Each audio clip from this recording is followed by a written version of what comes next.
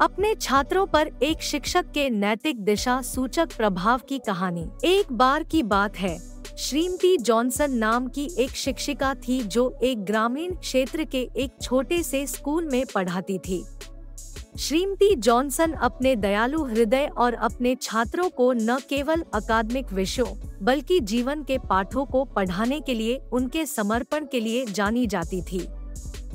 एक दिन, श्रीमती जॉनसन ने देखा कि उनके छात्र एक दूसरे के प्रति बुरा व्यवहार कर रहे थे।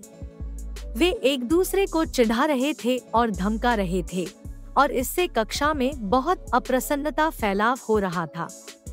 श्रीमती जॉनसन जानती थी कि उन्हें अपने छात्रों को एक दूसरे के साथ दया और सम्मान के साथ व्यवहार करने के महत्व को समझने में मदद करने के लिए कुछ करना होगा। इसलिए उसने अपने छात्रों को सबक सिखाने का फैसला किया। वह सेब की एक टोकरी ले आई और उसे कक्षा के सामने रख दिया। उसने अपने सभी छात्रों से टोकरी से एक सेब लेने और उस पर मार्कर से अपना नाम लिखने को कहा। फिर उसने उनसे एक सहपाठी को कमरे में सेब फेंकने के लिए कहा। पहले तो छात्रों को लगा कि यह एक मज़ेदार खेल है।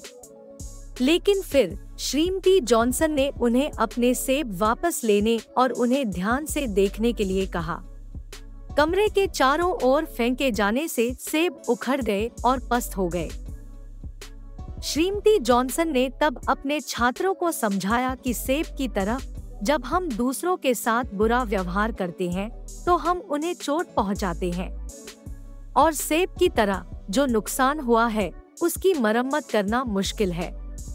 उन्होंने अपने छात्रों को बोलने या कार्य करने से पहले सोचने और दूसरों के साथ हमेशा दया और सम्मान के साथ व्यवहार करने के लिए प्रोत्साहित किया।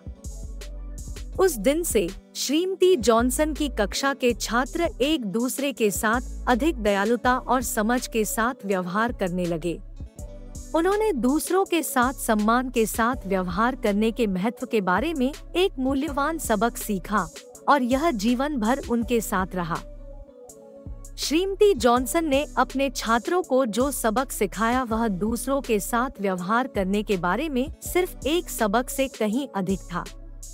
यह एक सबक था कि कैसे एक अच्छा इंसान बनना है और एक पूर्ण जीवन कैसे जीना है। उनके मार्गदर्शन के लिए धन्यवाद।